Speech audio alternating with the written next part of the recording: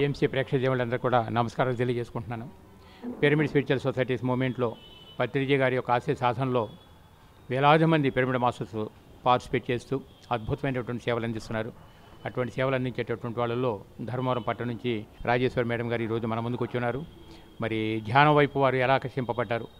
సేవలో ఉన్నటువంటి గొప్పతనం ఏంటో తెలుసుకుని ఇంత అద్భుతమైనటువంటి సేవా కార్యక్రమాల్లో పార్టిసిపేట్ చేసినందుకు మరి రాజేశ్వర్ గారిని వారి జీవిత వారి జీవిత ధ్యేయం వారి యొక్క ధ్యాన అనుభవాలు తెలుసుకోబోతున్నాం నమస్తే అమ్మ. నమస్తే. పత్రికతో మీ పరిచయం ధ్యాన పరిచయం అన్ని వివరంగా చెప్పండి చక్కగా. నేను రెండు వేల పదమూడులో ధ్యానంలోకి వచ్చినాం సార్. మా ఆయన ఫస్ట్ రెండు వేల పదకొండులో వచ్చినాడు. మా ఆయన ద్వారా నేను ఈ ధ్యానంలోకి వచ్చినాను. నాకు ధ్యానం అంటే అసలు తెలియదు మా ఆయన ఆరోగ్య బాలేక ఆరోగ్యం బాలేక వచ్చినాడు. నేను ఎందుకు కన్నులు మూసుకొని ధ్యానం చేసేది ఏంది ఇది? అని నేను కొంచెము ఎటకారంగా అట్లా మాట్లాడడం. ధ్యానం అంటే చాలా మంచిది అని చెప్పినాడు. ఆయన ధ్యానం చేసేకి వచ్చినప్పుడల్లా నేను గొడవ పెట్టుకుండేది సార్ నేను. నాకు తెలియదు కదా.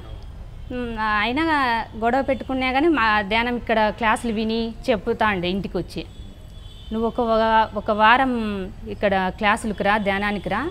మళ్ళీ నీకు ఇష్టమైతే వద్దు లేకుంటే లేదు అన్నాడు. సర్లే అని నేను ఇంకా మా మాట విని వచ్చిన సార్. ఫస్ట్ వచ్చిన రోజు నేను ప్రసన్న సార్ క్లాస్ విన్నాను. మళ్ళీ సోమవారం గోపాలరెడ్డి సార్ క్లాస్ విన్నాను. నాకు చాలా ఇష్టం అనిపించింది ఆ మాటలు వినడం వల్ల. మనం ఏది తిన్నా ఏమి చేసినా దాని నాకు తృప్తిగా లేదు కానీ ఆ మాటలు నాకు అంతర్గతంగా చాలా ఇష్టం కలిగింది సార్. ఆ రోజు నుంచి ఈ రోజు వరకు ధ్యానం అనేది వదిలిపెట్టకుండా ధ్యానం బాగా చేసుకుంటూ రమాదేవి మేడం పరిచయం అయింది ఆమెతో పరిచయం ధ్యానం గురించి ఆమె కూడా అలా జైలు ధ్యానం ఇట్లా అంతర్గతంగా స్థితులన్నీ చెప్తాండే. నేను ఆ కొత్తగా చాలా ఇష్టంతో రోజు నాలుగైదు గంటలు ధ్యానం చేస్తా సార్ మామూలుగా.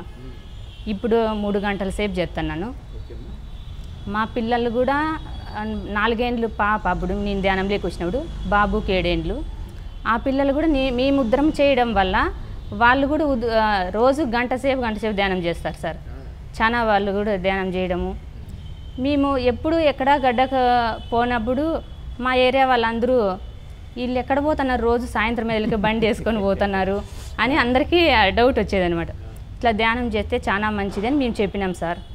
మా గేర్లో కూడా ఒక పది పదహైదు మంది కంటిన్యూ వాళ్ళు కూడా మెడిటేషన్కి ఇక్కడ వస్తున్నారు. పూర్తిగా ఇన్వాల్వ్ అయినారు సార్ వాళ్ళు కూడా. మళ్ళీ మేడం ధర్మవరం వీ- వీధి క్లాసులు మొత్తం అంతా చె- పెట్టినారు. మా ఏరియాలో కూడా పదకొండు రోజులు ధ్యానం క్లాస్ పెట్టినారు సార్.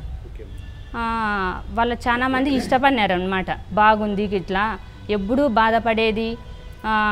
వాళ్ళకి కష్టం అంటే చాలా మా ఏ- లోనుకోట చాలా బాధపడతా అంటే వాళ్ళు ఇక్కడే కంటిన్యూ చేయండి క్లాసులు అంటే ఎడ వద్దులే అన్నారు. మళ్ళీ ఇప్పుడు అనుకోకుండా ఇక్కడ పిరమిడ్ కూడా మాకు వస్తాను సార్ అక్కడ. మా ఏరియాలో ఎంగడసాం సారు గోపాలరెడ్డి సారు వీళ్ళంతా కలిసి ఆ ఏరియాలో కూడా చాలామంది బాధపడుతున్నారు. వాళ్ళకు తెలుసల్ల ఫస్ట్ కష్టం విలువ అంటే ఏమి అనేది తెలుసల్లని చెప్పి madam Ramadevi madam Gopalreddy sir ఎంగడసాం sir ఈ ధర్మవరం కమిటీ నెంబర్లు అందరూ నిర్ణయించుకొని వాళ్ళు అక్కడ పిరమిడ్ కడుతున్నారు సార్. ఈ ధ్యానం వల్ల ఏమి అంటే ప్రతిదీ వాళ్ళన్నారు వీళ్ళన్నారు అని మనం ఎప్పుడూ బాధపడుతుంటాము ఇతరుల మీదకే వేస్తాము. కానీ మనలోనే ఆ బాధ ఉంది మనమే తీసుకోవడం వల్లే ఉంది ఇది ఎవరు కాదు కారణం మనమేను అనేది తెలుసుకున్నాం సార్ మేము. మేము ఒకరికొరం ఎప్పుడూ గొడవ పడేది ఇంట్లో చాలా ఇబ్బందిగా ఉంటాంటిమి తెలియనితనం అదే. ఈ ధ్యానంలోకి వచ్చినాక ఒకరికొకరు అర్థం చేసుకొని ఒకరికొకరు గౌరవించుకుంటా అట్లా జీవితము మేము అట్లా ఉన్నాం సార్. సాఫీగా తాగిపోతుంది. ఆహార విషయాలు ఎలా ఉండేవాళ్ళు? ఆహారం అంటే మేము మా ముందు నాన్ వెజ్ తింటా ఉంటాం సార్. ఈ మెడిటేషన్కి వచ్చి ఇట్లా కార్తీక మాసంలోనే నేను వచ్చినాను. కార్తీక మాసంలో మాంసం మా ఇంట్లో తినరు. నాన్ వెజ్ తినకోకుండా కార్తీక మాసంలో వదిలేసినాము. గోపాలరెడ్డి సారు మేడం వాళ్ళు వీళ్ళంతా నాన్ వెజ్ గురించి ఎక్కువ చెప్తాండ్రి.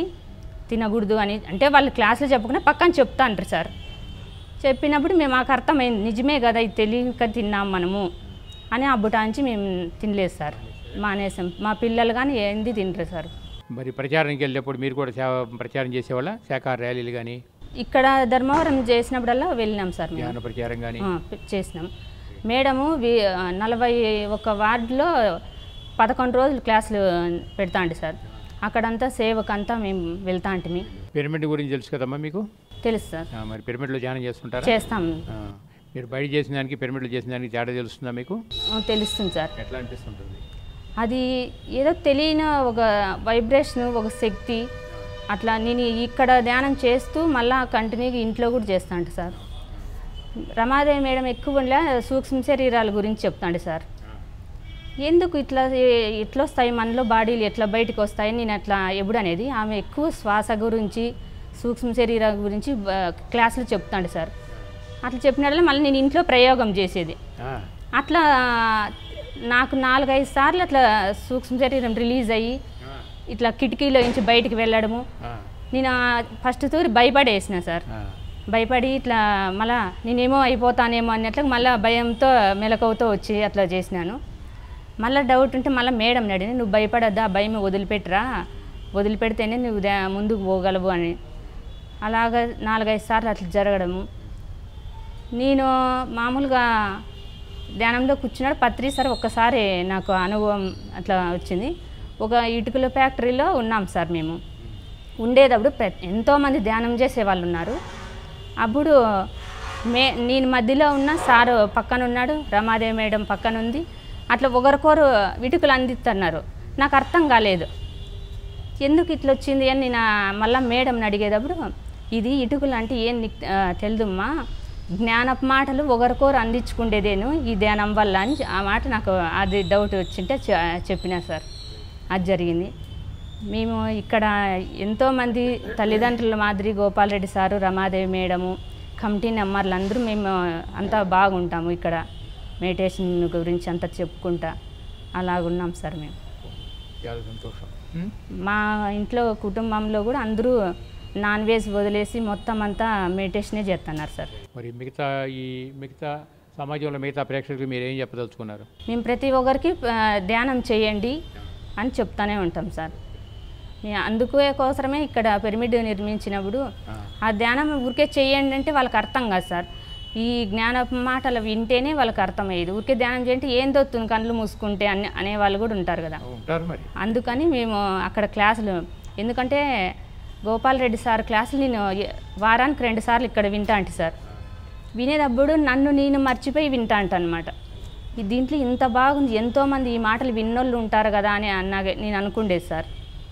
అట్లా అనుకోవడం వల్ల ఇప్పుడు అనుకోకుండా ఇక్కడ పిరమిడ్ రావడము వాళ్ళలో కూడా మార్పు వస్తుందని నేను కోరుకుంటున్నా సార్.